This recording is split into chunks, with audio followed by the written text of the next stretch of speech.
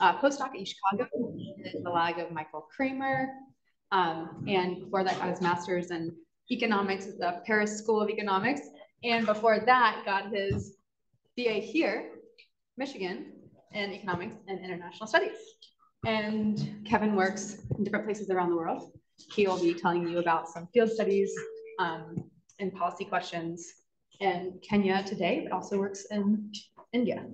So please welcome Kevin to our series.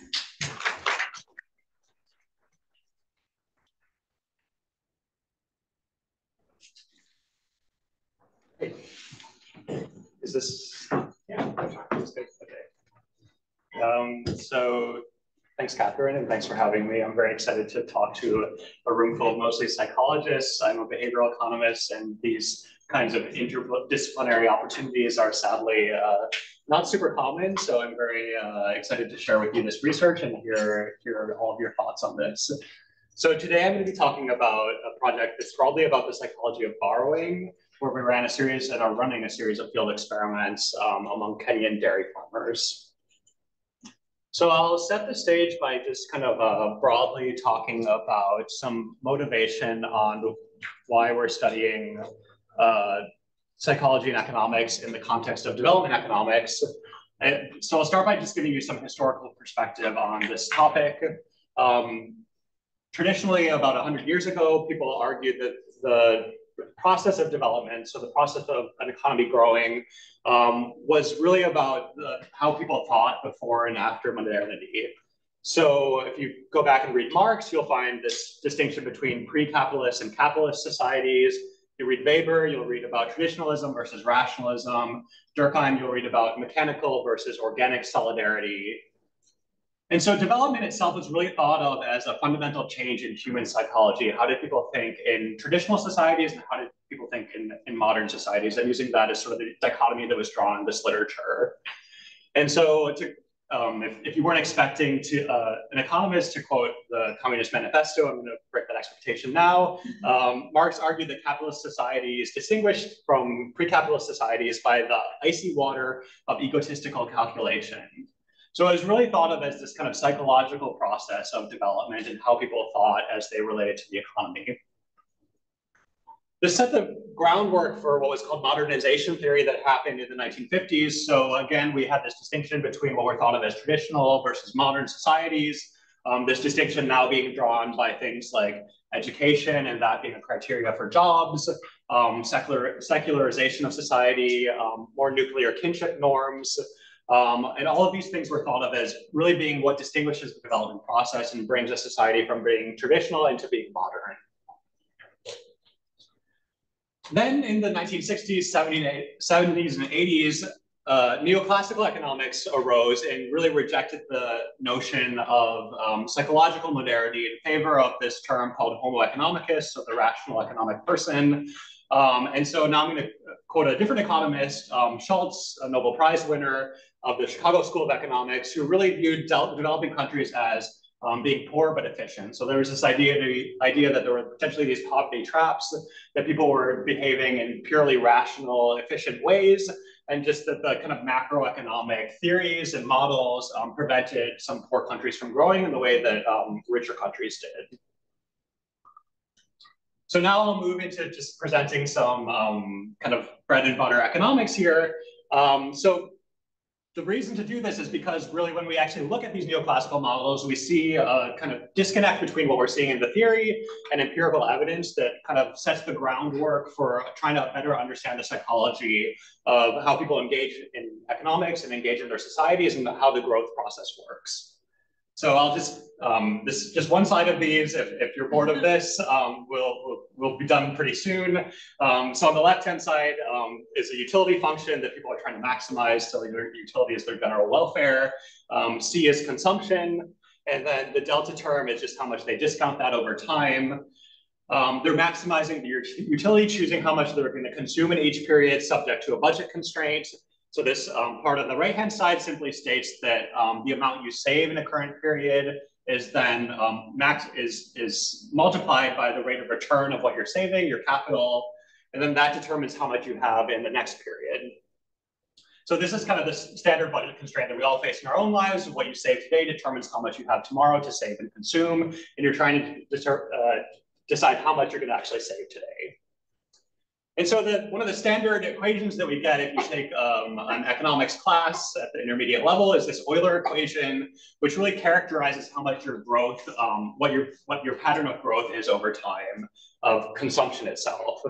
And so what we see is the amount that you're, the change in consumption that you have in the current period then determines the change in consumption you have in the next period, your marginal utility of consumption, um, multiplied by the rate of return of capital and a discount rate. So what does this actually mean? It essentially means that, you know, if you have a larger return on capital, if uh, capital is more productive, technology is more productive, that means you'll want to save more today, invest it in capital, consume less today, so that then you, your consumption pattern can grow in the future. So now why am I saying all of this? I'm saying all of this to really then draw a distinction between what we actually see in practice versus what's predicted by this model. So typical rates of return on capital are, are quite high. So standard evidence, when you um, give people uh, amount of money, ask them to invest it, you see rates of return that are often 150% or, or larger. Um, typically, we think of discount rates, the amount that you discount the future relative to the present, as close to one, slightly less than one. And so if we're to take this model seriously, what does this mean? Well, it means that we'd see huge um, increases in people's consumption over time. So relative to what the model predicts, we actually see much less. So the model would predict that people relative to what we see in the field, people would be uh, spending less today, saving a lot, experiencing a huge return in capital, and then be growing in terms of the amount that they're actually able to consume. And the, this would be basically the development ha process happening extremely rapidly. Um, this would imply a 44% rate in consumption growth, which is nothing like what we see in the real world. And so this brings up kind of the key question that this talk is designed to help start to address, which is what are the main factors that limit poor households' investment in seemingly profitable technologies. So we've seen a wide range of evidence that investing in capital in low-income countries can be really profitable. And yet we see a fairly low take-up rate of things like um, fertilizer, things like investment in machinery, um, things like investments in assets for farmers, which will be the topic of the discussion today. And so the question is really, well, how can we better adapt our economic models to incorporate the way people really interact in the, in the world and the kind of psychological processes that determine their economic behavior. Okay, so that's the end of the pain and suffering of the Euler equation. Um, the candidate answer, one of the main candidate answers that I'm going to address today in this topic um, is the endowment effect. So this is something that um, probably a lot of us are familiar with. Um, it's a classical finding in psychology and economics that I'll attribute to um, Knetsch Kahneman and Thaler, um, Kahneman being someone that economists sort of claim as their own, despite the fact that he's trained as a psychologist. Um, and the main finding here is that people's willingness to accept for an asset is typically greater than their willingness to pay for it. So in a lab, what, we, what we've seen is the example is if I give you, say, a mug, um, you're much less willing to part with that asset than you would be willing to part with money to, to buy a new mug um, because you've developed some sort of kind of attachment to that specific thing by virtue of owning it. Um, so we see this as being unwilling to exchange something that you're endowed with for a new good that would otherwise be of similar value. Um, typically in, in, models, this is thought of as uh, being quite related to loss aversion. So you can think of the endowment effect arising because people are loss averse subject to a reference point. So by reference point, I mean you have a set of goods that you're endowed with, and you're much, much more afraid of kind of losing the things that you're endowed with than you are willing to gain uh, new assets. Okay, so I'll, before getting into what, what I've done in my own research, I'll talk about some of the um, evidence that exists, talk about sort of the global evidence and how we should think about this in the context of understanding um, psychology and economics in, in a more global context. Um, so there's a ton of lab evidence on this. Most of this comes from undergraduates in the US doing things like being given mugs and pens and being asked to exchange them. There's some field evidence that in the early 2000s um, started arising also in the US um, primarily a series of papers by John List at UChicago, um, where he studied baseball trading card conventions. So he would go to these big conventions that people that were buying and selling baseball cards had, And he basically showed that people experienced an endowment effect over baseball cards. Um, so they were less willing to part with baseball cards than they, that they already owned than they were to buy new baseball cards of similar value. Um, there's also this sort of distinction between the endowment effect being studied in high-income countries and low-income countries. Um, so most of the evidence today comes from a high-income country setting. There's a few key studies coming from low-income countries that I'll discuss in a moment, um, where we see an endowment effect arising um, in, in, all of these papers, I guess, except for one. These two are sub-Saharan Africa. The middle one is in India um, looking at basically people's willingness to exchange um, one good for another and seeing the endowment effect in these settings as well, for the most part, um, with a caveat that I'll discuss. So the purpose of this talk is sort of twofold. The one is um, to try to understand whether the endowment effect um, can help explain this Euler equation puzzle. So to help rationalize why people aren't taking up these seemingly profitable technologies as much as traditional models would expect. Um, and then also to try to understand how to increase financial access in low and middle income countries. So can we use these findings to better design um, financial technologies to increase investments um, and spur economic growth? And then I guess for the purposes of this talk, I'll also say that a final kind of purpose of this paper is to better understand in a global setting, how does the endowment effect arise? Where are we likely to see it? And then what does that imply for policy questions outside of just um, high income country settings? So I'll talk just a little bit more about what we've seen on um, a kind of more diverse stage when we look at research on the endowment effect. So the early research, as I said, came from US undergraduates um, with trading mugs and pens, and then other things where they've looked at trading um, these tokens, um, trading all sorts of things that you can basically give undergraduates in a lab setting and trying to see what kinds of utility, um, what kinds of decision frameworks people experience an endowment effect over. And then people started wondering, well, is the endowment effect actually a universal phenomenon? So does it exist simply in the lab or does it exist in the real world? And does it exist around the world? So um, John List um, had these endowment effect experiments where he showed among baseball trading card, um, people at baseball trading card conventions, there was typically an endowment effect, but actually when you looked at more experienced people that were coming having regularly traded baseball cards, the endowment effect was much smaller. So that sort of seems to suggest that with experience, um, with potentially not being as attached to items because you're already planning on um, trading them, um, the endowment effect is smaller.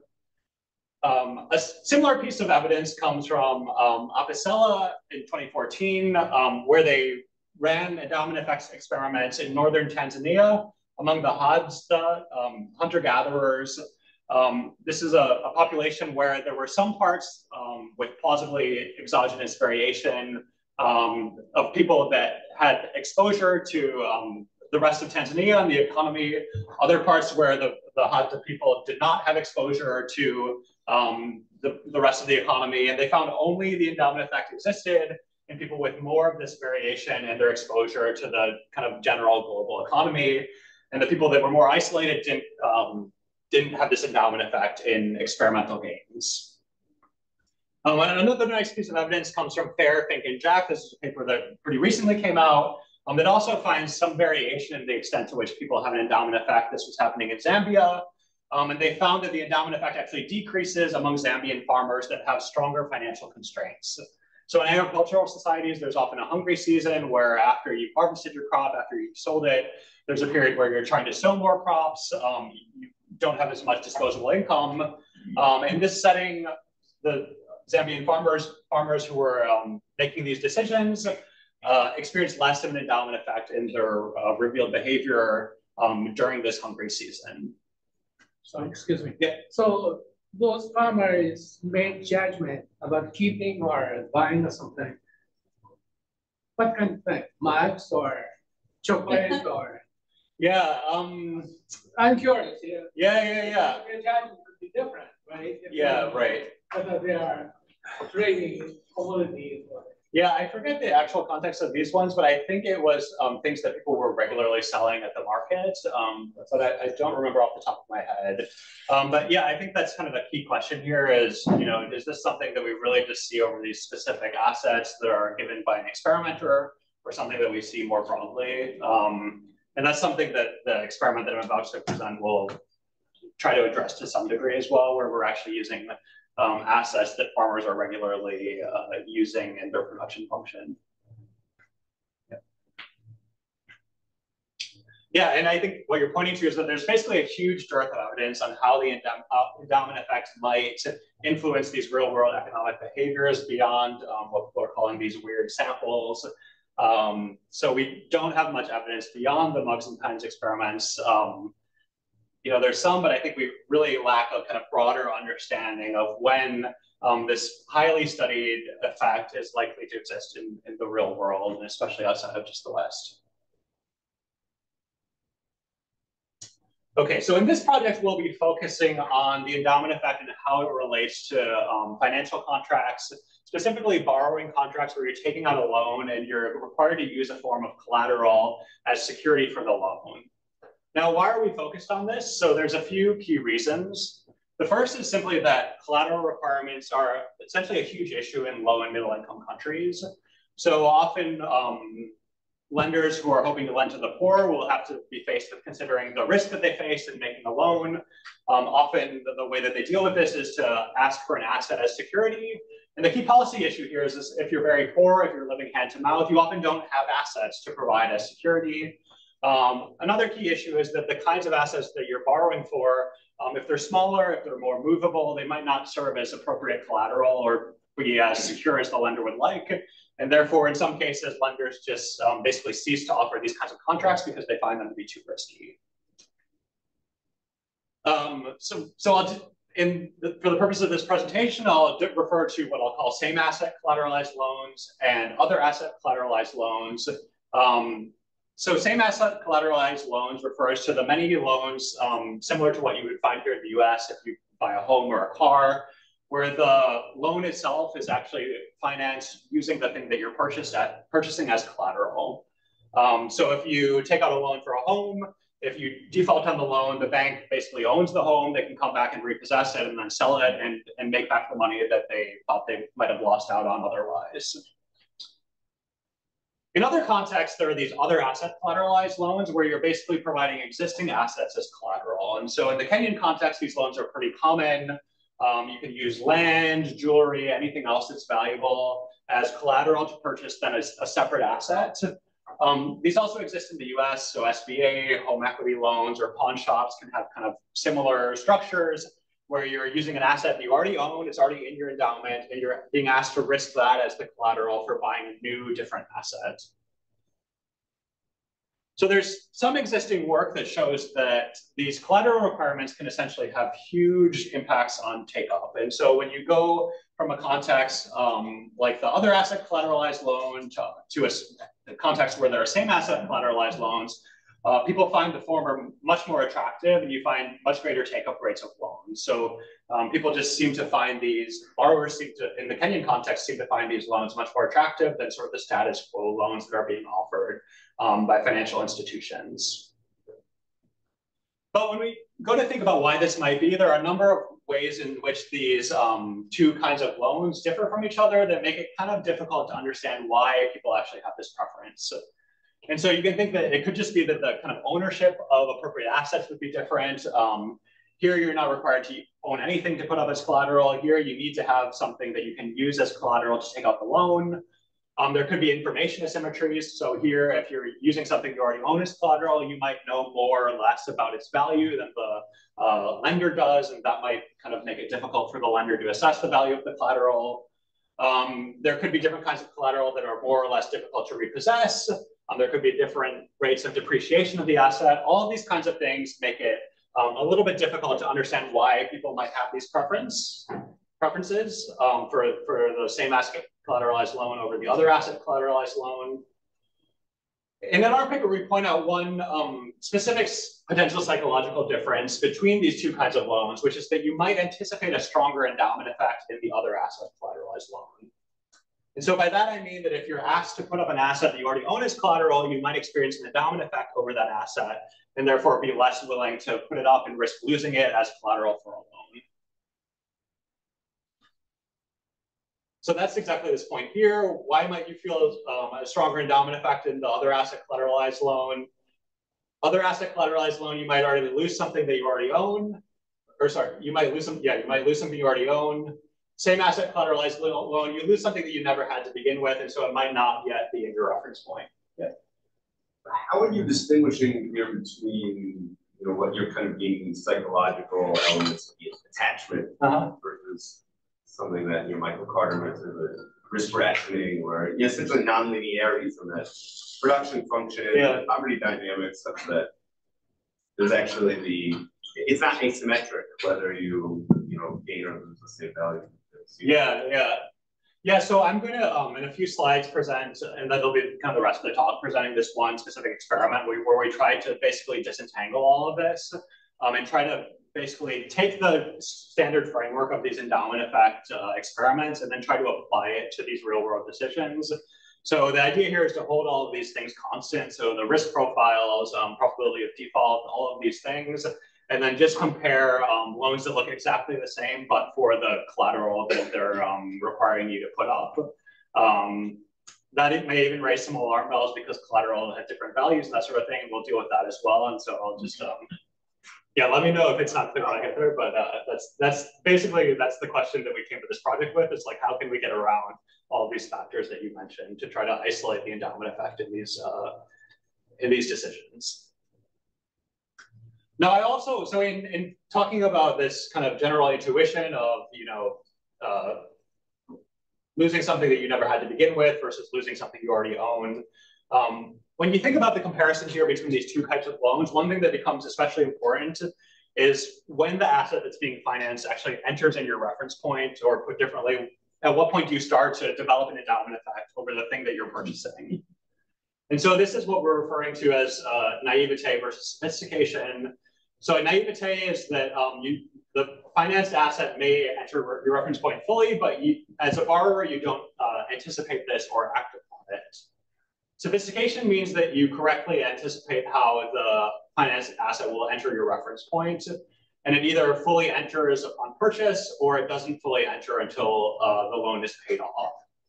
Now, why am I making this distinction? If you the reason is that if you take a step back and you think about the perspective that borrowers might have over these kinds of loans at the point when they're taking them up versus after the contract has already started, um, the, the key issue here is that in both loans, once you've uh, started the loan, you receive the asset, at that point, you really have both of the assets that are being required, either as collateral or being bought as in your possession. And so even if you're required, if you're um, using the thing that you're purchasing as collateral, the idea here is that you will probably develop an endowment effect over this item, and that'll influence how willing you are to lose it. And so if you anticipate this at the point when you're making the, um, the investment decision, there's no real reason to prefer the um, same asset collateralized loan to the other asset collateralized loan, because you might think, well, what do I have to lose by um, taking up this loan? well, what I have to lose is that I'll become attached to this thing. And once I become attached to this thing, then it's just as hard, hard to lose it as it is the thing that I'm um, that I already own. And so it really requires someone to either be naive about the fact that they'll eventually become attached um, to the thing that they're purchasing, or it requires someone to not um, actually fully become attached to that thing before the end of the contract in order for us to see a preference for the same asset collateralized loan over the other asset collateralized loan. So it's the fact that people either don't fully become attached to the thing that they're buying, or that they don't anticipate that attachment um, that needs to exist for them to have this preference that we've, we've seen in some of the existing research. And so a second part of this project that I'll discuss is kind of trying to understand, well, what are people's anticipations when they go into these kind of contract and when they're presented with these two options? Yeah. Can I just ask a question about, so you presented some research with the baseball card suggesting yeah. that expertise would also diminish the endowment effect. Mm -hmm. Does that fit into this sophistication bucket here? That the more expertise and more practice you would have yeah. buying or selling houses, for example, might decrease your attachment to them. Does that yeah, am I, I trying to integrate too much? Yeah, I think no, I think that's exactly right. And I think you could possibly fit it, fit it in here or just here. So it could be So it could be that people are sort of uh, less naive when they're baseball card traders because they know, okay, in the past I've become attached to these cards. That's going to hurt me like just as much as the cards that I already own, that sort of thing. Mm-hmm. Um, or it could be the case that just if you're a baseball card trader, you just basically develop less of an attachment to begin with. So it might be that, you know, you come to the trading show with this set of cards in your portfolio. You see this as not something that's really yours, but something that is um, in your possession in order to specifically to be traded. And so you could think that it's just that because they're trading so frequently, they just don't become as attached to these assets um, as people that have a some special card in their possession that they've really come to like and have seen as their own, and then then are asked to trade. And so, so then the scarcity piece, like with the Zambian yeah. so those are environmental inputs into your, these are both kind of individual, at the individual level, right? Yeah. So where would this sort of context or um, environmental issues kind of show up? Yeah, so um, in, in terms of like when when the finance asset would enter your reference point yeah. scarcity. Like, yeah, yeah, yeah. about that. That's a that's a good question. Um, yeah, I don't I don't know off the top of my head how I would fit that in. I mean, it could just be that there's still an endowment effect and it's outweighed by other forces when you have really serious um, uh, like, like budget constraints. Exactly. Okay. Yeah, it could be something like that. I think this is somewhere that's really kind of the next frontier in terms of trying to do this research is understanding why do these things exist in certain contexts, why do they not? And you know, we have some like basically with each, with each of these papers, we have a different data point from a different setting, but if we don't have, we're not at the point yet where we're able to then control for those things and understand what those different settings mean for when we see the endowment effect and when we don't. Yeah. yeah. Great. So this paper that I've been alluding to is called The Endowment Effect in Collateralized Loans. It's a working paper with Michael Kremer, Xinyu Lin, and Gautam Rao. And we ran an experiment to um, understand these two questions that I laid out. So the first is, does the endowment effect have a causal effect that makes borrowers prefer collateralizing loans with new rather than old assets? So basically prefer these same asset collateralized loans to other asset collateralized loans.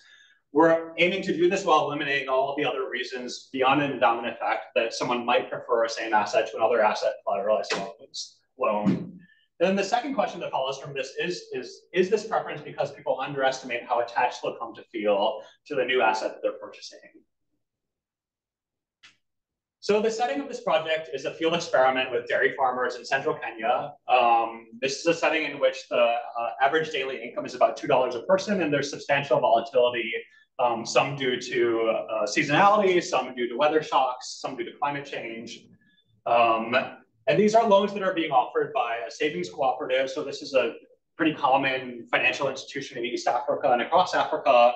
Um, it's a savings and credit cooperative, a SACCO. You can think of it as pretty similar to a credit union where borrowers themselves have a stake in the um, SACCO. Um, it provides pretty simple financial services, so deposit accounts and loans, um, all participants in this study are members. So we recruited from one SACCO, our partner organization's um, client base. And so because of that, there's sort of this repeated interaction between the participant and the lender. That's just kind of a contextual detail to keep in mind for this study. We had a great team that was helping us with data collection. So some of you here have worked at the Busara Center in Nairobi. Um, we also had an organization called Innovations for Poverty Action helping us. Um, I want to give a special shout out to Salome and Jambi, Mary Wawira, and Frank Odhiambo, who were the ones really in the field throughout the experiment running the study. Um, and this is just a picture of me with the field team. Um, we're handling here a series of objects that will become clear in a moment um, why we're holding. Um, but these were the things that we were offering people as part of this experiment. Okay, so just a basic um, sample table about these 700 people we, we re recruited.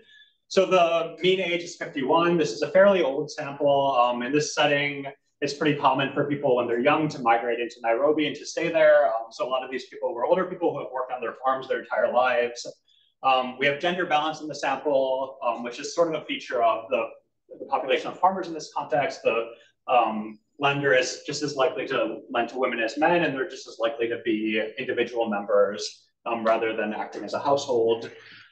Um, yeah, I don't, I don't want to go through this in its entirety, but you can see some of the summary stats here. So um, yeah, a lot of people already had outstanding loans. Um, most of them are getting most of their income from dairy. Um, some of them are getting their income from, from farming land. And these are pretty smallholder farmers. So on average, they have just about two cows um, per participant that they're using to generate most of their income. Okay, so an outline of the experiment. So the main thing that we're get, trying to get at here is um, demand for same asset and other asset collateralized loans. Um, I'll talk about the experimental design, um, then go through just the standard results. Then I'll talk about the predictions, um, discuss a kind of model of economic behavior and how our results fit in, and then just discuss a little bit about what this means for borrower welfare. So just starting with the kind of basic comparison. So what we wanted to compare was demand for same asset collateralized loans and other asset collateralized loans while isolating the endowment effect so just a simple sort of uh, mental exercise. Suppose we simply randomize people to either receive a same asset or another asset collateralized loan to purchase a new asset. There are a few problems that come to mind here. So the first could be that if you're offered a other asset collateralized loan, you might just not have any assets to provide as collateral. The other thing is that we don't know how much people value the assets that they're being asked to provide as collateral. So it could be that you really value the thing that you're able to um, use in the other asset collateralized loan. It could be that you really value the new item and you know that the thing you already have is actually complete crap. Um, and as experimenters, we have no idea about what people prefer. And for that reason, they might just prefer one loan to the other because they value the items differently. So if that happened, we couldn't attribute any difference to the endowment effect. What do we do instead? So we have a pretty simplified procedure where we identified uh, two assets that were common to the context. These are, um, as you saw in the previous slide, things like uh, uh, milk cans, uh, cooking pots, things to spray your cow. So we identified two of these items. Then we randomly selected one from a set of four items in total and gave it to the participant. So this is the, what I'll call the endowed item. Then later we came back a week later after they'd owned that endowed item for a week, and we offered them loans for a second item and varied whether they were offered a same asset collateralized loan or another asset collateralized loan. And so in the same asset collateralized loan, what are you using as collateral? You're using the thing that we're now offering you to purchase. And the other asset collateralized loan, what are you using as collateral? It's the thing that we gave you a week ago. So because of the randomization, we know that the collateral in both of the loans should, averaging across participants, have the same valuation. We also know that the new item that's being offered for sale should across participant have the same valuation because we're randomizing which both of these things are from a pool of common assets. So we tried to basically offer assets as uh, endowed items and for purchase that were common to the context so these were things like uh, cans to hold milk, a thing to spray your cow with insecticide, um, a cooking pot, and a large thermos to hold things like tea and coffee warm. Each of these have a value on the market of about $30. Um, and they're familiar brands that are available locally. So these are things that people are pretty um, familiar with and, and, are common in, in their uh, set of assets. We wanted to limit the scope for learning over the week's time about the usefulness or the quality of the things that we were giving people. So here's a picture of the actual items themselves. Um, this is the cow sprayer. Um, you can also use it to spray plants. Some of you might have these. Um, this is a cooking pot in plastic. Uh, this is a milk can that's used to collect milk um, from your cow and then sell it back to a dairy cooperative. And this is the thermos that's just used to uh, keep things warm. Okay, so here's the process that people went through. So I mentioned there's these two sessions, one week apart. So in the first session, we elicited several things. The first thing was we wanted to understand how much do people value each of the four items that are potentially at play in the experiment. We did this using a Becker DeGroot Marschak procedure, wherein we asked people basically uh, about a series of prices, saying, would you buy this for 100 shillings? Would you buy this for 200 shillings? After they answered all of these questions, then we randomly drew one price um, and then actually I implemented that as the offer price. And so if you said yes to that um, question, you would purchase the thing for that price. If you said no, then you wouldn't purchase it. And so what this gives us is We know people's precise switching point for, uh, at which they say, go from saying yes to saying no, and that gives us a measure of their valuation for an asset. Um, we elicited people's predictions about their future decisions in the second session a week later. And then at the end of that first session, we randomly selected one of the items and then gave it to the participant, told them this is yours to own, do with it what you wish. Um, and they walked away with this and we told them we'll see you again in a week's time. After a week, they came back and did a second session in which we offered the two loans. So again, we did a similar procedure with a multiple price list that allows us to say precisely what is the maximum amount you'd be willing to pay for a given loan, um, either for a new item financed by the thing we gave you a week ago, or the thing that you're buying itself.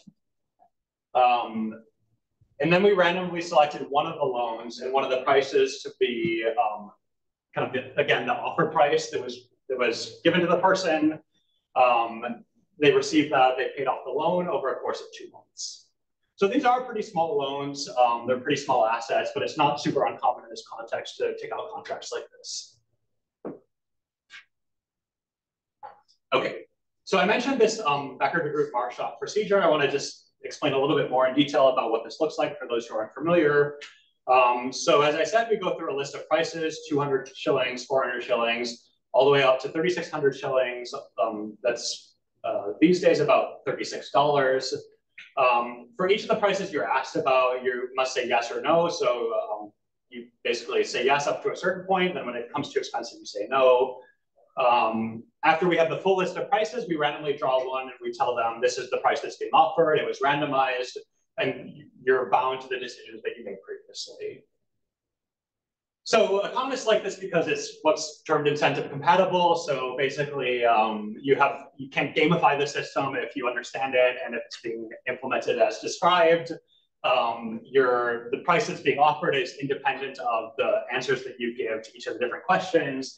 And then it's in your best interest to basically say yes up to the maximum price that you would pay for an asset. And so that gives us a willingness to pay for the different assets and then also for the different loans um, for each individual. Now, some of the, in some cases, because we didn't actually want to um, to uh, implement people's decisions with a high probability, we would lose sample in some cases. I'll describe this in a moment. Um, but I should say that one caveat is that in some cases we um, didn't actually implement uh, the decisions with a high probability. That still keeps the incentives there, um, but there's only some chance that you'll actually be offered any contract at the end in some cases.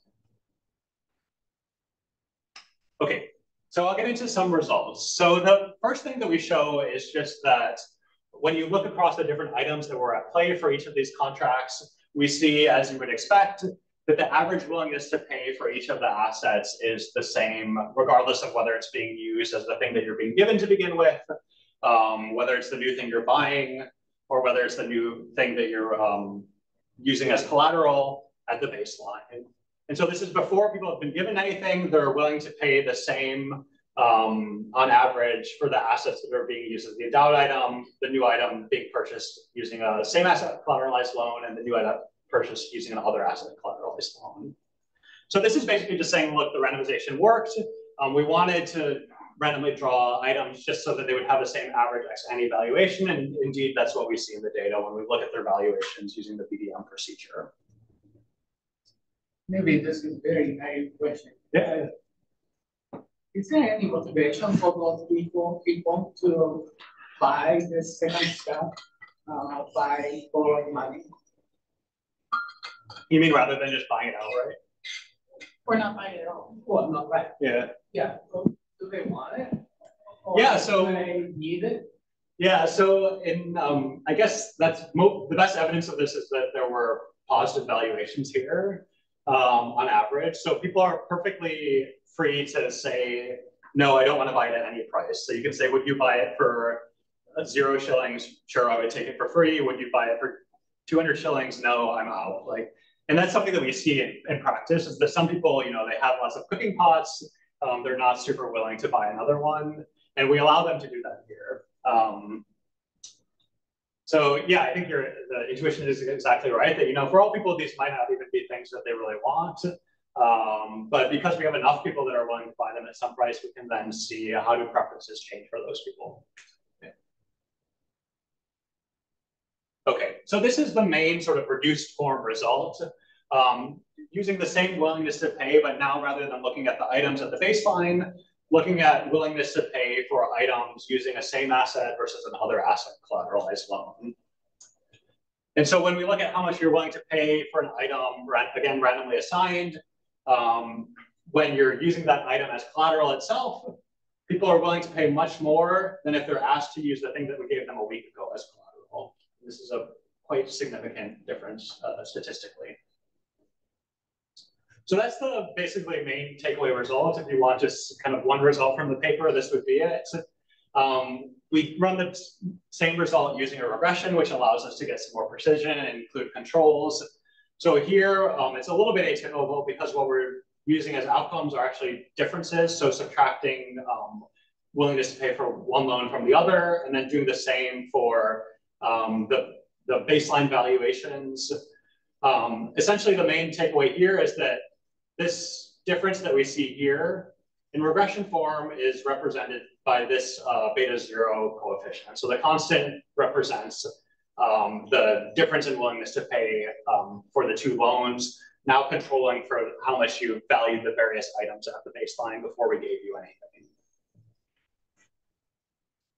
So again, we see basically the same results. So um, this shouldn't be a surprise. It's basically showing that randomization worked. When you include controls, you see the same thing as when you just compare means.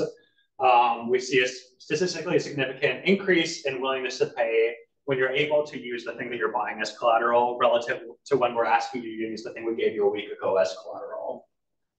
Um, we've converted this into the equivalent monthly interest rate, and this is approximately the same as about an 8%, I guess 8.8% difference um, in monthly interest rate. So you're willing to pay 8.8% more in interest in order to be able to use the thing that you're buying as collateral. So this is pretty economically meaningful. I mean, 8% in interest is quite a big difference when you're taking out a loan. Um, and nonetheless, that's what we see in terms of people's preferences between these two loan types. The percentage points. Uh, it's percent. Yeah, but it's like interest rate. I mean, it's interest rate percent, so it's kind of interest rate percentage. Yeah, exactly. Yeah. yeah. Can you clarify um, the 8.8%? That is basically the, that's the same asset collateralized loan as the other asset. They they cost the same, but people were just willing to mark to like the lenders not respond to that greater willingness to pay and upcharge the same asset collateralized loan. Yeah, so in, in this context, these uh, these loans weren't being offered prior to the research team coming in. So one of the previous studies that I mentioned was just showing that demand is higher, and that was basically when we, not me, but some of my co-authors about 10 years ago started partnering with the SACCO and uh, studying this, and then it, they found it was really attractive. The SACCO thought this is amazing, and they've offered it now to everyone. Um, but I don't think they do any sort of price discrimination. Um, I guess their main uh, difference, the, the, the, main other kind of collateral they use is actually to use the, uh, other people's uh, deposits in their accounts. So like you have family members guaranteeing your loan, that sort of thing. Um, don't they don't have any price differential on those, but they don't um. No, they don't. Yeah, they don't seem to. Uh, I mean, they, they also follow our research findings typically, so maybe they will start to, but uh, we haven't made that this particular point clear to them. Yeah, but as you were saying, like it's really striking because at least we find it quite striking because by virtue of the fact that we're just randomly determining which of the items are being purchased using these things, and that changes from person to person, you should really think that they would be willing to pay the exact same thing. Like the thing you're buying is the same across everyone on average. Um, so it's really the collateral that makes a difference. Um, when I get into default rates, I'll also describe why that's a bit more striking. Um, the fact is that people are very unlikely to default. And so collateral only really matters if you default. And so it's all the more like, why does it matter if default rates are low? Um, but that's what we see nonetheless. Yeah. Just quickly, did, did, for the other uh, asset one, do they have to actually present their collateral? Like, like how do you know they still have it? And how does that kind of affect this demand? I'm a little concerned. Yeah, yeah. So we don't ask them to actually bring it back in. Um, we do ask them do you still have it? What have you done with it? I think one person in the sample said, sorry, I already sold it. and in that case, you know, there's not much that you can do. Um, I guess the other thing that I would say is in practice, they can, after the second round, they can go home and do the exact same thing for the same asset collateralized loan. They could also just go and sell the thing. And so by the time the second session happens, basically these contracts are the same where, um, you know, it's not great collateral because it can be moved, it can be sold, it can be hidden. Um, but the main concern in terms of making the comparison is just making sure that people didn't sell it over the first week. I mean, uh, Yeah. I would be a little concerned if people are lying about that. Yeah, yeah. So, I mean, this is exactly what respondents typically are not are reluctant to tell people that give them stuff. Yeah, yeah, yeah, fair enough. And especially in your case Yeah. about, because these are probably duplicate items. Maybe, or they're just letting friends use it, you know, Yeah. and they may, they may say like, no, I, I don't wanna risk, I know I'm not supposed to take this loan. Yeah. If I sold it, I'm gonna just kind of not really bid on this item Yeah, for the other, and it's not really the damage, it's, uh, I don't Yeah. think. yeah, that's a fair point. Um, I'm trying to think what, I think we have some other outcomes on this, but I I don't have a great answer to that. I think also like, one thing that I'll show you is when we see what people predicted and how their predictions compare to their actual behavior, um, it makes it a little bit hard to rationalize a selling story, but, um, but that's a little bit more suggestive, so. And they were aware that you were gonna come back and ask about it, No, we didn't tell them for the specific one that they had to do anything with it. but they did make predictions about it. And yeah, they, they made predictions in some cases, so we, we were concerned about whether the predictions would basically bind people to their decisions, so we uh, only elicited predictions a third of the time, um, and we don't see any differences in behavior whether you make the predictions or not. But, um, yeah, the predictions themselves are pretty suggestive that we'll do something in a week because we're asking you to. yeah. Um, Okay. Yeah. To go back to uh, slide. Yeah. So here, yeah, there's one more. Yep. So average price is about twelve hundred. yeah, Now, on the next page, basically people are saying, okay, I'm, I'm borrowing twelve hundred using the item I got. yeah, right? yeah. That's as much as you can get. So this pattern could emerge if the second item, that is item presented to you as a possible purchase, is more expensive. No, because you can borrow more to get this, but it's impossible to get the money uh, with the item that you have. Yeah. Yeah, I think I see what you mean. Um, Right, I mean, I, I'm getting, this item seems like, you know, fourteen hundred dollars, well, Yeah. fourteen hundred, so yeah, Yeah, I, I want to uh, borrow that money by using the, the same thing, right? yeah, But even if I want to do it, I cannot do it with the item that you gave me because it doesn't seem as expensive. yeah. So I guess maybe a few things to say, and then you can let me know if this answers this. So, um, so we have these four items, and so for some, like, so in the first period, we randomly decide which one we're giving you. So for some people, it's the cooking pot, for some people, it's the thermos, um, and so on and so forth. Then you come back a week later, and we do the same thing, and so. Right, so one was white. Yeah, exactly. So now the thing that you're buying here is still one of the other four items. So we gave you the But thermos. why, why is it that they're borrowing, oh, I see, same item, Yeah. they're borrowing more money than the item on average Yeah, so it's um value? yeah, so it's pretty similar. So this is what they value for the items um when they're not using any sort of loan. We just ask them what what would you pay for any of these items. So it's about twelve hundred. And what you'll see here is for the other asset collateralized loan is still about twelve hundred. And so I guess I would interpret this kind of markup as the additional value of um, being able to take out a loan and use the thing that you're buying as collateral. Um, So it's kind of because it suggests that there's like an income effect only for same asset collateral, right?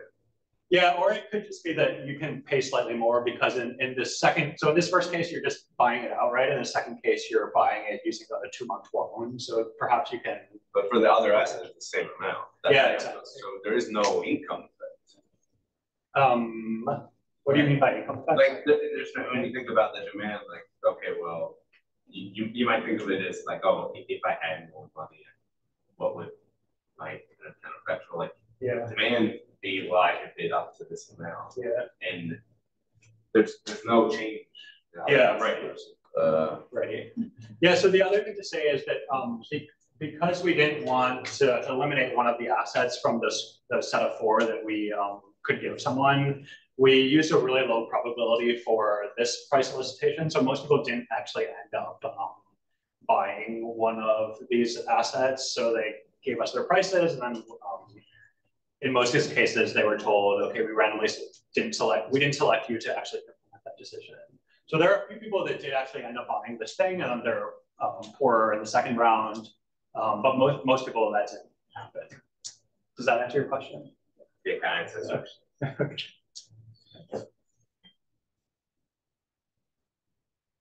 Okay, so we've basically run the same um, comparison now, just looking across the different items and seeing what is the um, what does the treatment effect look like if depending on which item you're actually endowed with to begin with. And so if it's some sort of story about either learning about the asset or selling the asset or something like that, you might think that some assets, there's more scope for learning. You might think that some assets are you're more able to sell in the market. And in that case, you would see a different treatment effect across the different items. It's kind of strikingly similar how the size of the effect is the same, regardless of what is the thing that we gave you in week one or in, in day one as the thing that we then went back and asked you to use as collateral. Okay, so just to get into some, just like for full disclosure, to get into some discussion of what are the potential confounds. There is this learning confound. You could take the thing home. You realize it's a complete lemon. This cooking pot doesn't work. And therefore, because you've learned about it, um, you're more likely to be willing to use it as collateral um, or less likely, I guess, in our context. So that's the point here is you would need systematic positive updating. So you'd need to learn for the effect to go in this direction, you'd need to learn this thing was surprisingly good. Um, we also look at uh, heterogeneity and past experience with an item. Um, so how many cooking pots do you have to begin with? If you own a lot of cooking pots, you're probably better able to tell, is this a good or a bad cooking pot? Um, we don't see any different treatment effects by people with more experience with the thing we gave them. Um, on the last slide, I showed you there was no difference across the four items. Um, and also I'll show you people's predictions and that this story is inconsistent with them um, mispredicting the endowment effect. Um, you can also think that there's just kind of this hedging value of taking out um, a same asset collateralized loan. So you could think if the thing breaks, I can just default strategically. Um, the, they're durable items, so most people probably didn't really think of this as something that they would do. And it's also, again, inconsistent with the predictions that we had people make. Um, there's also just the general um, concern with an experiment like this about confusion. Um, but we did a bunch of comprehension checks. We had people do quizzes before we did these price solicitations. Um, and people generally pass these quizzes. Um, there's also, again, level evidence of heterogeneity here. So it's not that it's more or less educated people that are showing the fact. So I have some of this here. So this is just the experience um, heterogeneity. And then we also have heterogeneity by whether, um, based on local gender norms, whether the subject themselves is more or less likely to use the item that they're being endowed with. Um, and the treatment effects are similar um, with no significant heterogeneity um, using both of these measures. Okay, so now I'll go into this question of whether people anticipate or not the endowment effect, whether that can help kind of complete the story that we're seeing here.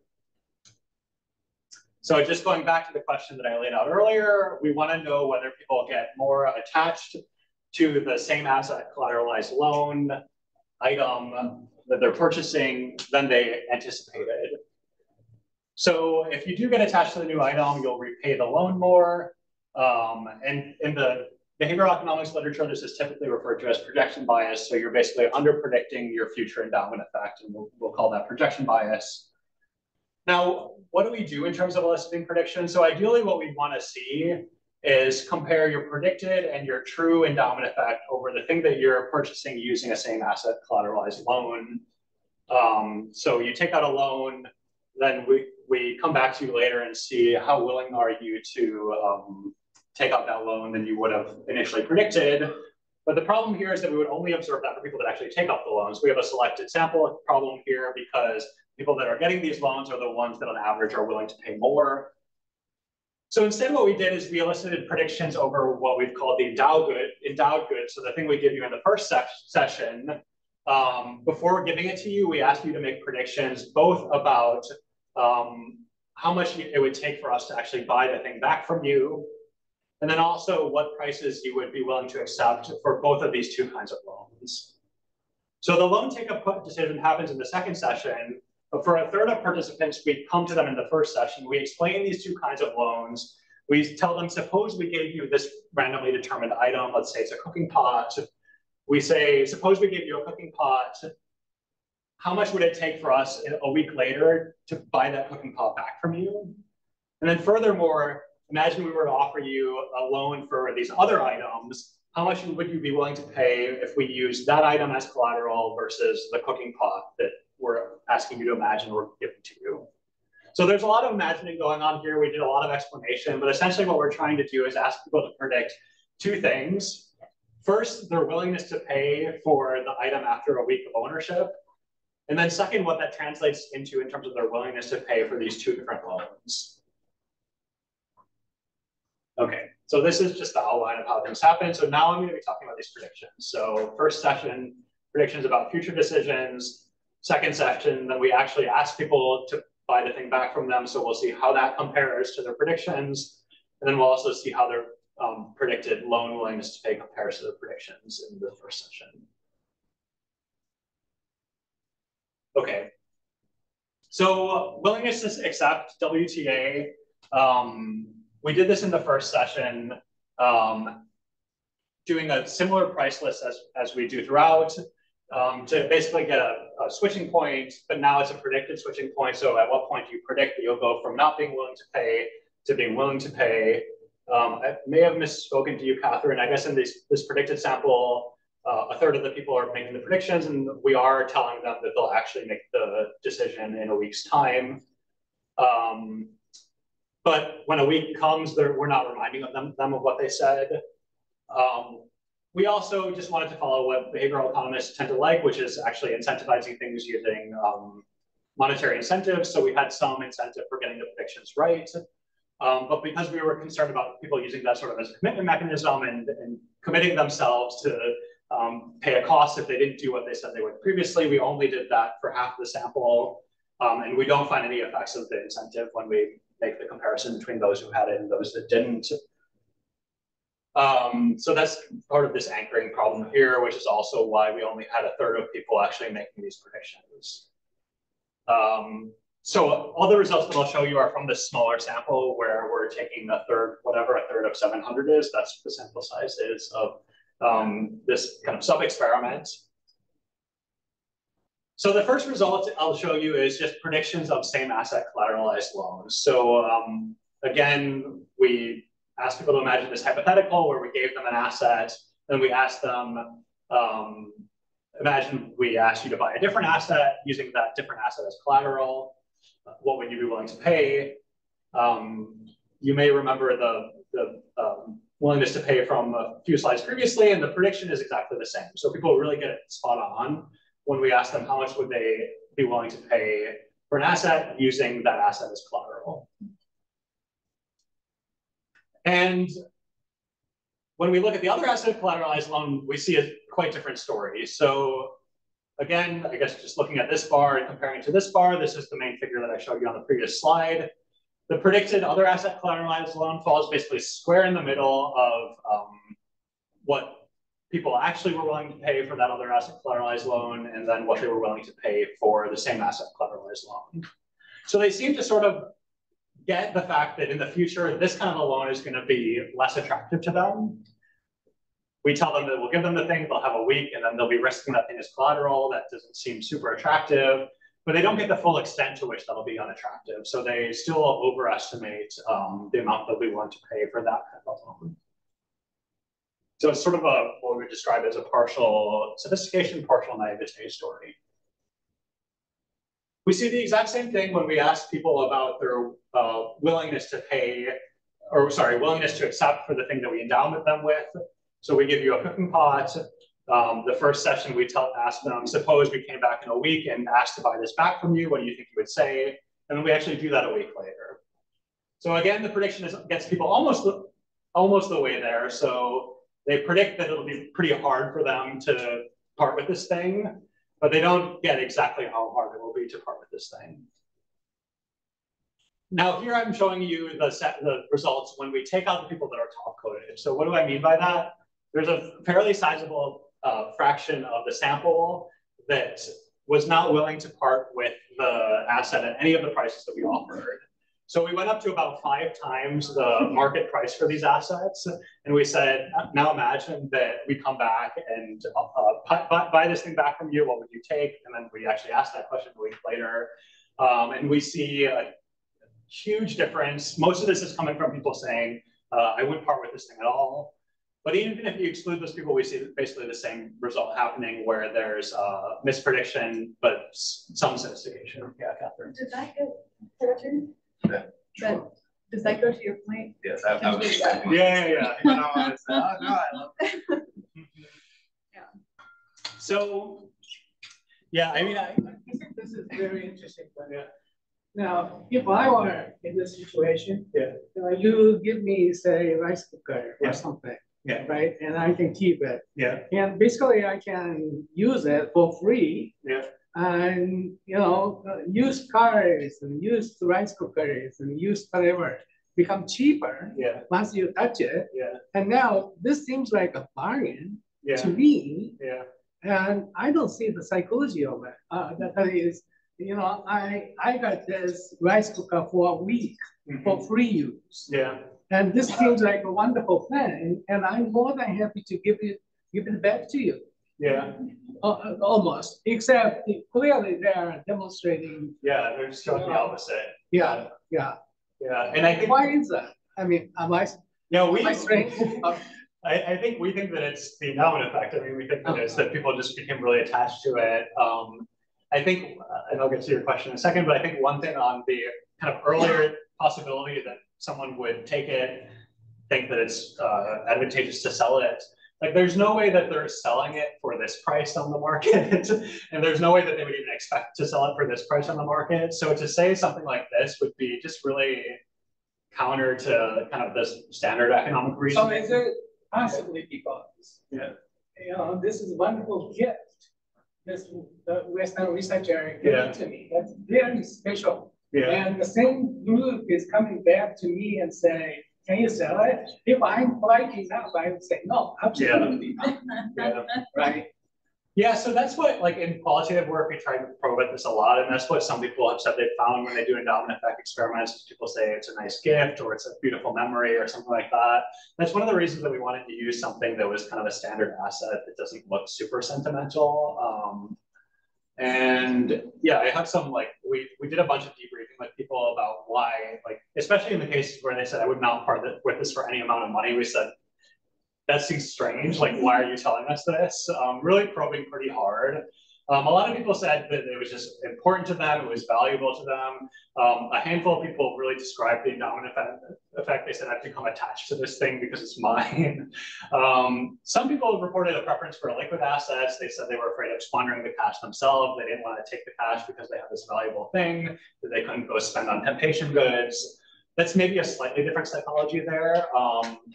But I was like, I was in the field myself asking for these questions when we were setting up the experiment, and I was super surprised to hear uh, like Kenyan dairy farmers describing the endowment effect to me when we were asking them about why they didn't want to give us the thing back, and like pretty forcefully telling them we would like you to give this thing back to us, uh, and we'll pay you for it. So uh, yeah, I'll start here. Um, so, yeah, I'm, I'm fascinated by the, that they already predict, that they predict that's gonna happen. Yeah. So I have two Yeah. questions. One is, you said they're fairly common items, but is there some difficulty for the people you're studying in obtaining it? Like, or is it pretty easy to walk down to the store and just get one of them? Yeah, it's quite easy. Um, and in fact, when we were choosing items, it was me and some of the field officers going around to local stores asking for prices of things and then finding things. So they could sell it back to you, go buy one, Yeah, they could buy it basically the same or thing. okay, Yeah. that's important. And then that other thing was just, is it an uncommon thing to have? Are there few enough possessions that, I mean, the first one sort of takes care of that because they could just replace it, Yeah, but yeah, that No, it's not commercialized to the extent that you have so much stuff, it doesn't matter. Yeah.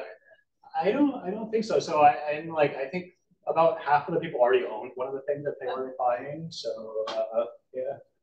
I just add a quick? Yeah, yeah. Can you put the graph up here? Yeah. So This if I'm interpreting the, the, if you want to time. There's this one Um, if I'm interpret, sorry, this one, if I was, if I'm interpreting this correctly, if I say I am willing to accept fifty-five hundred Yeah. and you say, here's five thousand, like I, I'm out.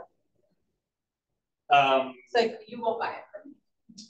So is, I'm, I'm, the question I'm trying to get at is like, how much gaming is going on here? yeah. Like, are they trying to review or like read the situation? Like, can I say four thousand to see like how, how much I can push you? Or is this more similar to the willingness to pay? Where like they, they write it all in advance and they don't know what you're gonna offer? Yeah, it's the same, it's the draw- exact same process. So you have yeah. eliminated gaming from this? Yeah, if people understand it rational, correctly. the rational thing is. Yeah, that- and so the key caveat here that economists seem pretty comfortable with, but I'm, I'm curious for this audience is like, this all depends on people understanding this perfectly and abiding by what we've told them and think, and assuming that we are not deceiving them in any way, um, which we're not. Um, but if they think that they're- could, they could still think that there's some gaming even though there's not. So um, that could be one way that. So this is driven by people who wouldn't accept any price. Yeah. You offer, Yeah. right? So that's not consistent with this. But you, But even then, the on the other ground. and you said your original median was low probability, meaning you were drawing from the high range. So I mean, are people just learning that you're gonna draw a high number? Yeah, so we did, we actually did it slightly different. We didn't just draw from the high range. We told them there's some chance that you'll, will draw anything.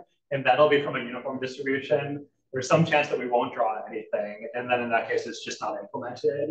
And then we told them which of the states of the world they were in, but yeah. yeah, you know, trying to offer uh, maybe an alternative explanation for the, uh, the extreme resistance of, of some of the folks to, uh, sell at any price or give up on the item. And it has to do with the sort of gift nature of this object. Right. If I'm thinking about like my, uh, mother-in-law, which I don't have, but, you know, um, uh, gives me a, a, a gift, uh, week, a week ago. And then she comes and asks me, um, would you sell this for? Yeah. It would be very polite, you know, it's very polite to hold on to. it. I was so appreciative of this gift that I just don't want to, maybe they're feeling like you're, maybe it's the same agent who's, who's, who's doing it, first gifting it and then asking you to price. Maybe, maybe some of the rea- reactions are ones where, where are they testing my loyalty? Are they Yeah. testing my gratefulness? type of thing? Would that be a factor there? I think it, it, it could be. I mean, that's one of the alternatives we have in mind. I think one of the things that makes it somewhat less plausible is, um, I think I misspoke on this and then correct myself. And so again, the same thing is going on, on here where if you're asked to make a prediction, then we're telling you um, that you will eventually be making that decision in a week's time. So here people had the understanding that even from the very beginning that they would be offered the chance to buy it back. Now, it still could be a gift, but I guess the analogous situation is your mother-in-law gives you this thing and says, I'm going to ask you if I want this back in a week. And so I don't know, that might, might make it seem like it's not as much of a gift, but it's possible. Yeah. This pen I'm using right now, I don't value, but right now I'm using it, so I wouldn't immediately push to part with it. These are really useful items. Yeah, yeah. Could there be a valuing of the, of the utility of the thing that the object is doing that's a factor? I think, yeah, I think there could be. So, yeah, they're they're not the kind of thing where like there's some mechanical process that's going on right away. So like it's not like for in most cases they wouldn't have a pot of rice cooking and you step away because this it takes time to get to the study site and that sort of thing. But um, yeah, we were concerned about this when we when we picked out the items. Not only um, something like you're using it right now, but also there could be complementarities to other assets you have or between assets. So we tried to kind of avoid any asset that looked like that. But um, yeah, that could be a story. Um, I think also the fact that the effects are basically the same for all of the assets. Um, would just mean that you would need to basically have that kind of I'm using now thing be the same for each of the assets to see this kind of thing. They can sell it back to you and then go to the store and buy a new one and take it back home with them, right? Yeah, exactly. If they were yeah, really using it. there. uh, yeah. Yeah, thanks for explaining this. This is like, this finding is super surprising, Yeah. fascinating to me. I'm curious if you know if the willingness to accept, does that vary based on income? So is it that people with more resources, higher income are the ones who say, no, I will not accept anything. I want to keep this item and that people with fewer resources will basically Yeah. accept anything, or did you not find that systematic? I don't, I don't remember, I think we looked it that, but I don't remember what we found. That's a great question. Uh, yeah, that would help shed light on that. Yeah. Yeah, one more question left, yeah. I'm actually fundamentally confused about the, the story that we're telling with respect to the endowment effect of your, your experimental conditions. Yeah. So um, if you follow the logic of the mug study, right? So let's say you're down with the mug. Yeah. And now you're given an opportunity to put the mug up for collateral, is the other collateral, to get a pen. Yeah. Wouldn't you expect a higher purchase because you have to give up the thing that you're endowed, but you're fine, you're not finding that. And that's why I'm fun- fundamentally confused about the connection with of your findings to the endowment effect. Yeah, so I think it's the a endowment story. It's about getting a new good, yeah. the same asset store. So I guess I'm not sure, like, I would have thought that you would be less willing to use the mug as collateral because you're already attached to it. Um, so I guess, So then that, wouldn't that translate into you want a larger loan?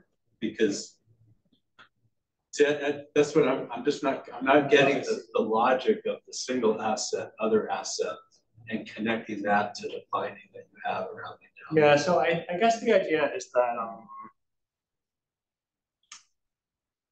that, yeah, I, I see what you mean. I, I guess the idea is that like the, you're, how much you're willing to pay for the loan shows how attractive it is to you. And so, um, then, yeah, if you're, if you're putting the thing up as collateral, you're risking losing that. And so then You would demand a higher loan value. I, I would say I think it's but pawn shop, the Yeah. pawn shop law, right? If you go to the pawn shop, you have this endowment that you're getting the pawn shop to hold on to. Yeah. Well, you get a loan. If you value that, you're gonna demand a higher loan than something that is the same asset. You're not being paid the loan though, like you have to pay that money back, right? Like you're getting the money, but then you have to pay it back, so it's the price of the good. So higher loan means it's a higher price, so you value it more. Yeah. I get it, that's right. that, I think that's the general logic, but I, I think I see what you're saying, which is that in some cases, like, if you take out a larger loan, maybe you're more likely to default on that loan. That's also part of the calculus here. And so we don't like, when we set up a model for this, we take default rates as constant, but um, so maybe that can get at some of that, but yeah, Happy to talk more about yeah, yeah, yeah, sounds good. Cool. Okay. Um, okay. Yeah, so I, I'm very curious to hear more about what everyone thinks about the potential confounds, potential stories behind this effect. I think we were just as surprised as you all seem to be when we saw just how striking this effect was. I think at first it was like, our hypothesis is like it worked, and then as we looked at the magnitudes, it was almost impossibly large. So um, yeah, so so I guess as I mentioned default rates, I'll, I'll say what happened here. So when we actually looked at what happened after people took out these loans, um, repossession was super uncommon. So the default rate was less than 1%. These are fairly small loans, fairly short term. Um, late payment rates were about 10% for the other asset collateralized loan and 12% for the same asset collateralized loan. Um, but we don't see any evidence that they're uh, significantly different from each other. Um, so this is sort of suggestive evidence against the partial attachment case um, and more in line with just you mispredicted something. Um, okay, so I'll just walk through a model that I think is sort of helpful for understanding more about how people are thinking about this and, and how the results relate to existing literature. Um, okay, I'll, in the interest of time, I'll just breeze through this because it's mostly not important. The key uh, takeaways are so we're modeling the endowment effect as reference dependent preferences with status quo quo reference points. What I mean here is in the most basic level, we're thinking of the endowment effect as driven by loss aversion, where losses hurt more than gains.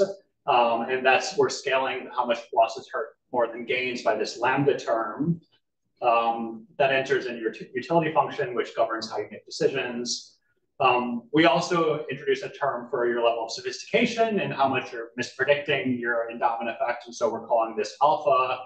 And so you can think of your actual utility as being kind of just a weighted sum of what you predict and then what actually happens. And the weight is just um, this alpha term. So how much are you underestimating your attachment to things in the future? Um, we're thinking about people's decisions in terms of three periods. So T1, you can, or T0, sorry, you can think of as the first period in the experiment where you're making the predictions, then we give you the item. Uh, T1 is when you're being offered the two different loans and you're making the willingness to accept decision where we offer to buy something back. And then T2 is when you're then, you actually have the loan and you're repaying it, um, assuming some sort of exogenous default probability, um, which we'll call D. Quick clarifying question. Yeah. So you're assuming This is expected value except for lambda. Uh, yes, exactly. Okay, so some key takeaways, we've worked out this model. We've um, basically um, used it to characterize what we would expect people to see in terms of their behavior. Um, and then we're going to use that to basically take our data and calibrate the model and then try to get out what is what are the values of these key parameters, specifically what is the value of uh, the lambda, people's loss aversion, um, so that we can compare it to existing literature, um, but also this alpha, which is uh, people's level of sophistication. And so the, one of the main takeaways is when you compare willingness to pay for the same asset collateralized loan to the other asset collateralized loans, um, it's mostly a function of just how much you value the asset. Um, but then that's scaled by your level of loss aversion. So the more loss averse you are, the greater your difference in preference for the two loans. Um, it's inversely proportional to your level of sophistication. Um, and then it also depends on default rates. So the difference between the loans is most uh, apparent when you think default is more likely. Um, if default rates are zero, then you shouldn't have any preference because who cares what the collateral is.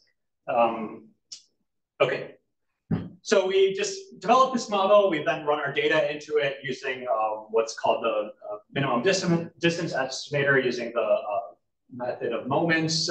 Um, so what we mean by moments is we just basically, for the most part, have a series of means um, and standard deviations of key things that we see in the data. Um, so key things like what is the mean willingness to accept? What is the mean predicted willingness to accept? What is the mean predicted and actual willingness to pay for the items? And so what we do is we then basically see, okay, we have all of these means. We have this model for how people are supposed to make decisions. What are the parameters that we care about um, that come closest to then matching the model to the data that we observe in the real world? So this gives us these parameters for loss aversion, sophistication, default rates. Um, our model uh, deviates slightly from the standard uh, gain uh, gains divided by losses framework or losses divided by gains framework. So we've translated it here um, to, to this lambda, this kind of standard in, in the theoretical literature. Um, and compared to existing lab research, we find a pretty high, uh, not endowment effect, a level of loss aversion. So I think the standard thing people are used to seeing is losses hurt about twice as much as gains. Um, here we see it's uh, 4.5 times as much. Um, when we look at people's level of sophistication, they're predicting about half of the level of attachment that um, we actually see them having, and that's somewhat consistent with what we saw previously, which is the prediction is falling uh, pretty squarely right in the middle between actual um, behavior and uh, and the kind of benchmark with no loss aversion. Okay, so I'll wrap up um, with some discussion, and especially here, feel free to jump in with questions, since I'll just keep talking until the end, I guess, but we can kind of uh, broaden things out here. Um, so just to, to do some summary, so we see a few key empirical facts. The first main one is that borrowers are willing to pay substantially more um, for an item to be able to use that item as collateral and not have to put something up that they own for just a week's time. Um, this is despite the fact that we randomized the item, which gives the same baseline value of each of these items in question. Then the second main finding is that they underpredict their future attachment um, measured via willingness to accept, and they overpredict their future take up of the other asset collateralized loans um, while predicting the same asset collateralized loans correctly. So the main interpretation here is that borrowers exhibit substantial endowment effect driven what we think by loss aversion. Um, this makes people less likely to be willing to put uh, collateral at risk if it's something they already own. And borrowers only slightly, only about half anticipate this. So they don't know how strong their endowment effect will be over new assets and how much the reference point will adjust. So when we think about whether these loans are good or bad for welfare, there's a few kind of things that make, make the consideration tricky. So the first is just should we value uh, loss aversion in people's welfare function? So this is kind of an esoteric question of whether we think of loss aversion as a bias that is a mistake people are making and not actually part of their true preferences, or whether it's something that people just kind of hedonically experience and whether we should take that at face value and consider that as um, being something that harms them and that we should uh, respond to accordingly when we think about public policy. That's, yeah. Do you think that we should value sophistication in welfare?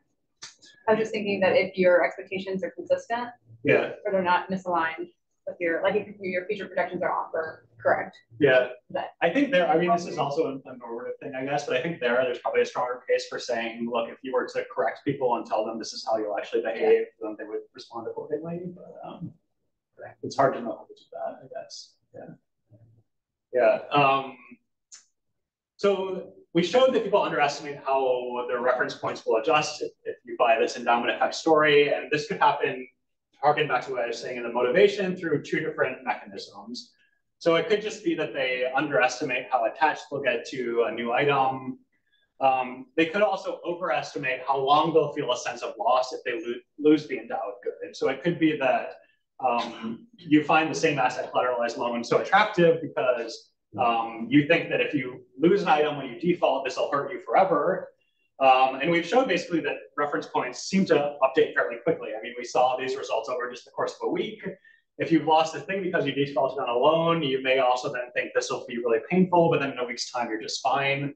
So in that sense, there could actually just be too little take up of the loan um, because people are underestimating how quickly they'll adjust to the loss in the case of default.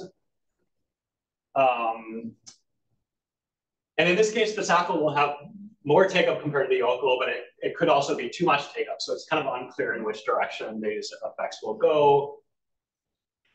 Um, there are also just other reasons to think that take up of other asset collateralized loans might be too low in this context because people might not have existing assets that they can put as collateral. Um, so in this case, like introducing a new financial product that is accessible to people just because it doesn't require anything um, could make them better off. Um, I'll mostly skip over this. Um, the, the main point here is that it really depends how quickly people adjust to the loss. Um, so there's this question of whether people anticipate that they'll kind of adjust over time and whether or not they over under, underestimate that and whether the loss of loss aversion hurts forever really depends a lot on which kinds of loans are good or bad.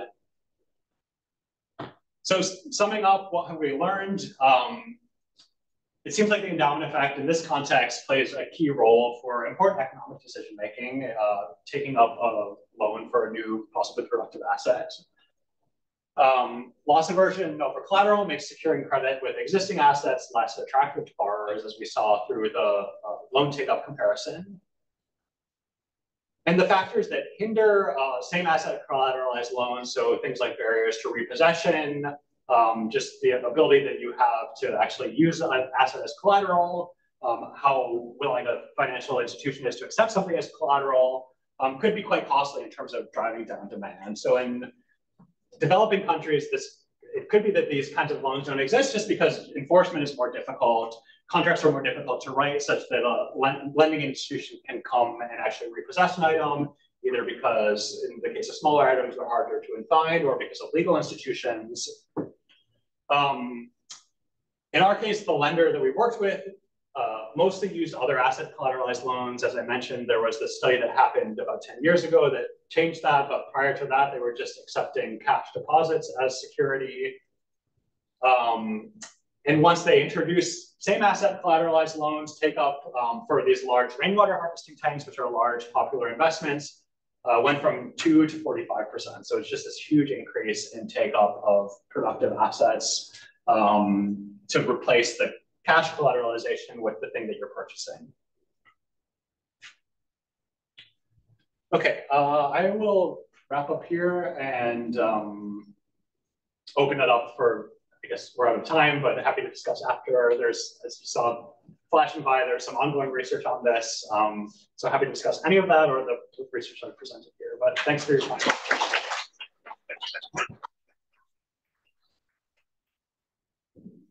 thank you very much. I, I spent some time in Nairobi. Yeah. And one, one amazing thing was that uh, people died quite a bit.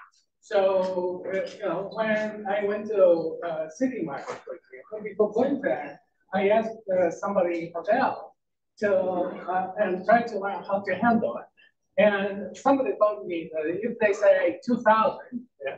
be sure to say how about 1,000. Yeah. And then negotiation goes on, right? Yeah. So, and if you are cheated, quote unquote, uh, in, in American sense, it's your fault yeah. because you're done. Yeah. Right? That, that's maybe that's what, what people mean by game. Yeah. But game is not game, that's way of life. Yeah. So right. I wonder to what extent this kind of uh, you know daily reality might influence your results. Yeah. Yeah, I think it definitely could. I think um, we tried to take steps to mitigate this through doing practice rounds with other goods um, and also through emphasizing the fact that we were partnering with a financial institution that they knew very well and had repeated interactions with and trusted. Um, but I, I, think you're right that that's something that is worth taking very seriously. I, I don't know which direction that would go with in any, but um, yeah, you could think of it shading preferences one way or the other, um, but have to think more about what, what the prediction might be. Yeah, so uh, bottom line is that your results are consistent with endowment effect. Yeah. But by calling an endowment effect, you put into uh, lots of things like attachment. Yeah. Now, I wonder if the pattern of the result could be consistent with this kind of uh, aggressively uh, proactive, competitive nature yeah. of business transaction. Yeah. that appears very common in that particular yeah. city. Yeah. Yeah, I think that's right. Um, I think in some senses it also made the uh, price elicitation a little bit easier because people were familiar with going through this process of uh, considering multiple prices in a row, saying yes or no, that sort of thing. Um, it was a challenge to emphasize that it, like to to make sure people were on board with the fact that the price draw was random and uh, that that meant that they should tell us their true cutoff point. And so, yeah, that's a, a key caveat here. But uh, I guess for this point, you have the willingness to pay be lower than it actually is, and the willingness to accept to be higher than it. Mm, I see. Yeah, yeah, that would make sense. Yeah. yeah. Um, but I think that Usara actually the paper showing willingness to pay is um, highly correlated with actual behavior. Oh, okay, great. So, yeah. Um, yeah. Uh, yeah. Real quick, uh, your decision to have uh, your utility functions except for land, um, which I guess economists would say is super centrality.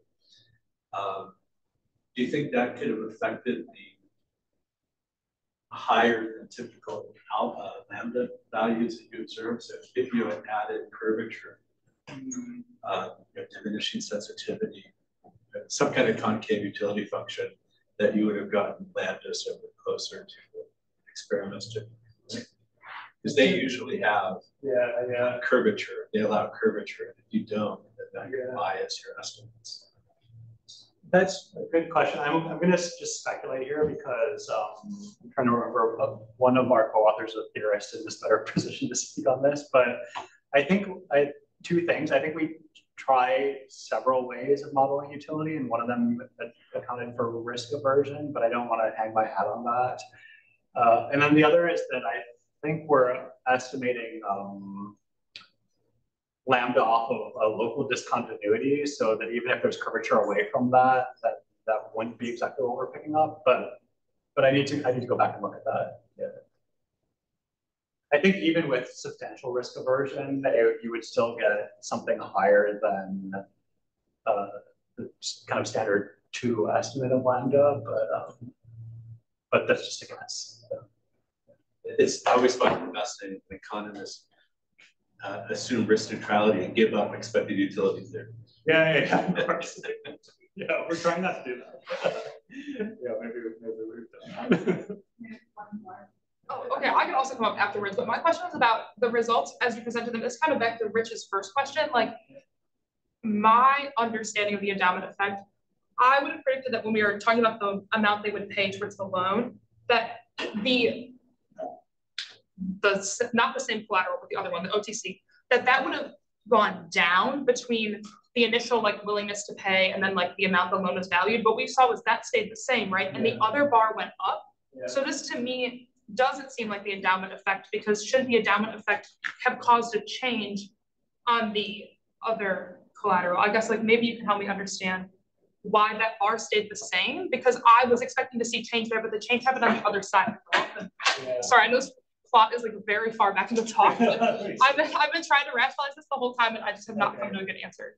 Yeah, yeah, yeah. Uh, I don't think it should be too far. Was it this one? No. No, it's no. very it's when they oh, well, it's the fact that this this kind of puzzle of the that um, that that's the same twelve hundred. Which yeah. is that is that the real market value? Uh, no, it's it's under the market value. Yeah, and a lot of that is coming from people that just don't like they wouldn't pay the market value. They wouldn't go out and buy one of these things. Market value like thirty yeah, but, but it's the same as baseline. Why is it the same as baseline? If, if there's an endowment effect, why doesn't that change? Is like my fundamental question. Yeah. Um, because it's, it's, oh, I, I yeah. The endowment effect should have caused a change there because like that was the whole hypothesis and it, it did change. So you're saying that because the SACL goes up, there's an endowment effect, but shouldn't it be that the OACL goes down is the endowment effect? Yeah. So yeah. So I think the key difference here would be um, that here we're just saying how much would you pay in cash today and here we're saying how much would you pay using a loan over time. And so in some ways, like, you know, it's uh, perhaps you, uh, maybe I, I made a mistake by making this comparison between this two 1200 and this 1200. Like, there's no reason to expect that you would be willing to pay the same amount for something using a loan versus using cash. If anything, you would think that it would be different. And so I think that's what kind of, I think the, the main takeaway here is that these are different, but I don't know that we should make any sort of direct comparison here just because of the fact that they're financed using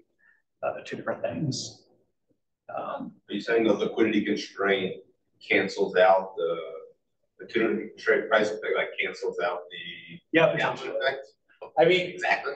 yeah, uh, yeah, I don't know. Um, because like, why would you expect that you be like? I can understand why you might be willing yeah. to pay more if you were taking out a loan, but shouldn't they have?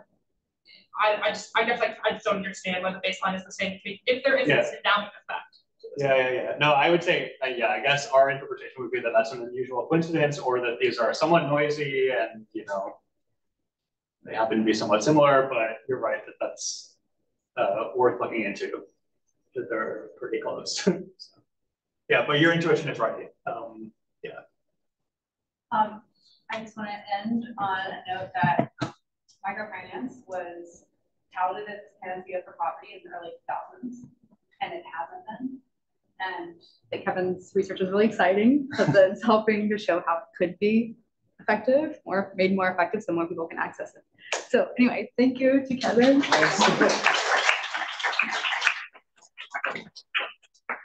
Next week,